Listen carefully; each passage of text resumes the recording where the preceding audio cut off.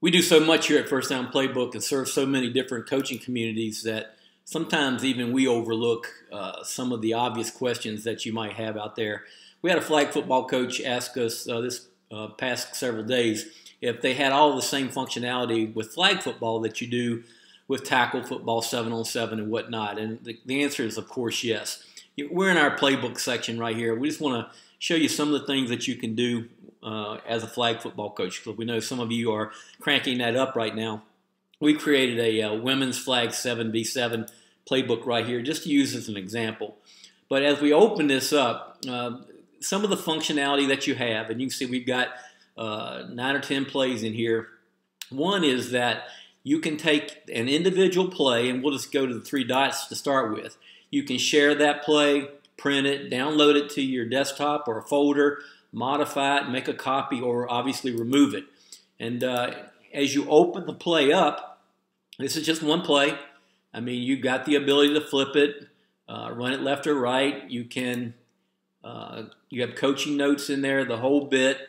And once again, you can, you still have all that same functionality right here. Now, you can obviously modify that play, change it around the way you want it, save it into your playbook area, which is where we are right now.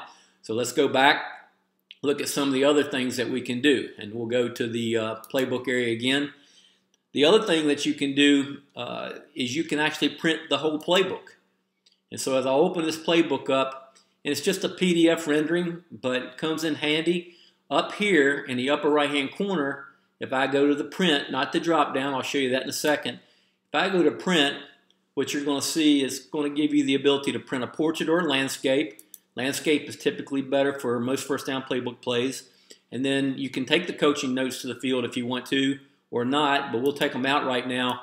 Once I do that, you're going to see that you get a table of contents and you also get all of your plays fitted exactly the way you want them on a landscape page with the number in the upper left hand corner. Very handy for teaching. Now, let's go back and look at that drop down for a second.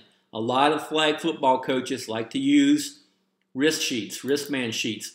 You have the ability to come in and print out four to a, a side, six up, or six up varsity. Youth and varsity, just a little bit different size for the uh, size of the arm of the player.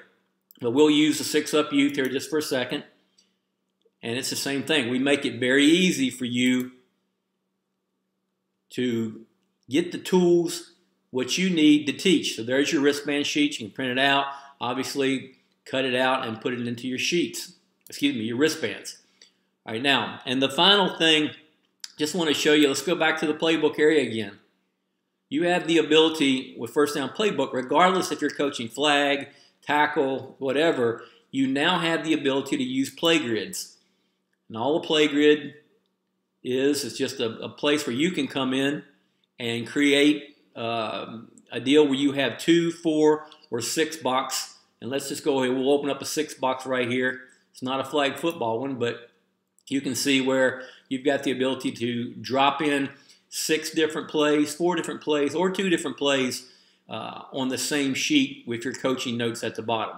So yes, if you're a flag football coach, understand – you have all the same functionality that you do as a tackle coach, and all of your plays will be found right here in the flag area, and uh, you can count on that growing uh, as we go through 2021 as well.